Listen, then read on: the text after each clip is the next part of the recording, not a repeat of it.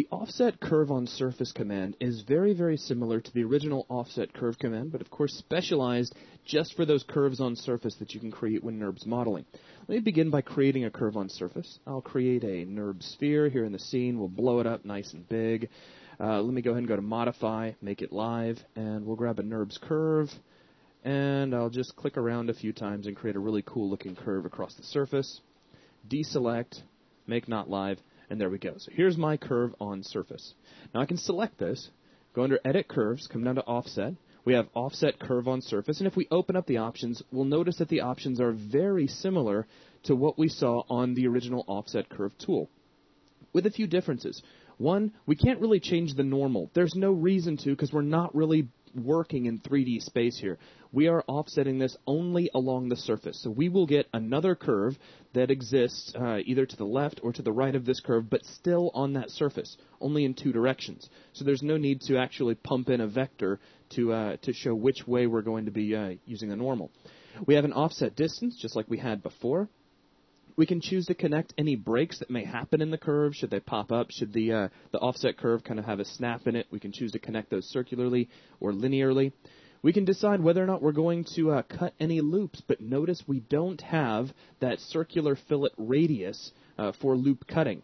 Again, we have max subdivision density to control how much each span of the curve can be uh, can be subdivided as we create our copy, and we have our tolerance. Now, let me go ahead and just real quickly we'll create this. So here's by default my offset.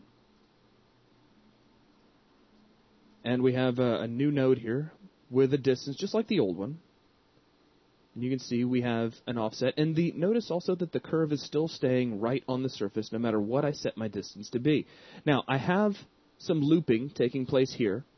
So we can go into the attribute editor and you'll notice we have the cut loop checkbox. We can switch that on and we can get rid of that looping, but again, we don't have that radius to make a fillet there. Just be aware of that. Let's go back to our settings, open these back up. Now, tolerance we've already talked about on several tools. It's just a way for you to control the positional tolerance or accuracy of the curve that's going to be created. And we also have our complete and partial curve, just like we had on the uh, original offset curve command. So I can click apply, like so. And if we come back over to the channel box, we have a min and max value, so I can increase or decrease this, or I can grab my show manipulator tool and do this intuitively right here on the screen. And that's really all there is to it. It's very, very simple. It's exactly like the original offset curve uh, command, just minus a few operations and specified only for curves on surface. So that's going to wrap things up for this video. Thanks a lot.